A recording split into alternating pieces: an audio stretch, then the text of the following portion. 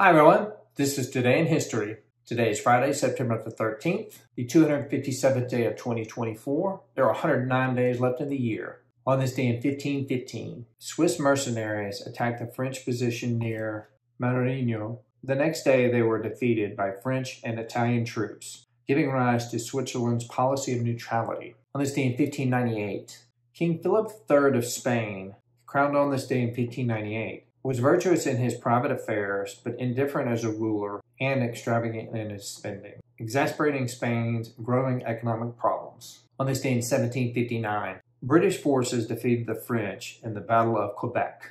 On this day in 1848, American railroad foreman Phineas Gage suffered a traumatic brain injury when an iron rod shot through his skull and obliterated the greater part of his left frontal lobe of his brain. He survived with apparently no lasting physical damage, though some claim that his personality had changed. On this day in 1857, Milton Snavely Hershey, founder of the Hershey Chocolate Company, was born in Pennsylvania.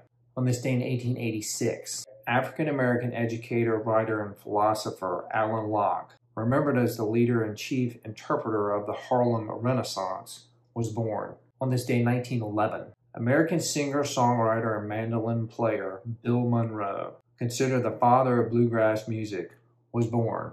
On this day in 1971, a revolt at New York's Attica Correctional Facility ended after a bloody state police assault on the prison, in which 29 inmates and 10 hostages were killed. On this day in 1990, the law enforcement series Law and Order debuted on the NBC television network. The show became one of the longest running primetime television dramas in the United States.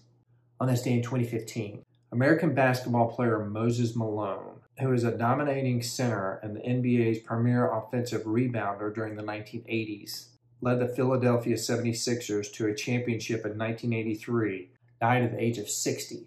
All right, everybody, that's it for today. Today is Friday, September the 13th, the 257th day of 2024. There are 109 days left in the year.